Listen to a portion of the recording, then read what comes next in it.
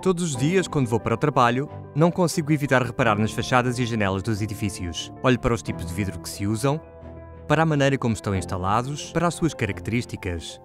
Agrada-me pensar que muitos deles saíram da minha fábrica e que neles há uma parte de nós. É uma responsabilidade. Por trás de cada vidro há uma história, e o nosso trabalho, por invisível que seja, consiste em ajudar a criar as melhores histórias possíveis. Criar um bom vidro passa por fazer uma boa planificação técnica, controlar exaustivamente as medições, eleger a melhor composição e, acima de tudo, otimizar o rendimento da produção. A excelência é uma questão de milímetros. Conseguir a máxima precisão requer experiência. Olá, Maria! E o uso da mais recente tecnologia.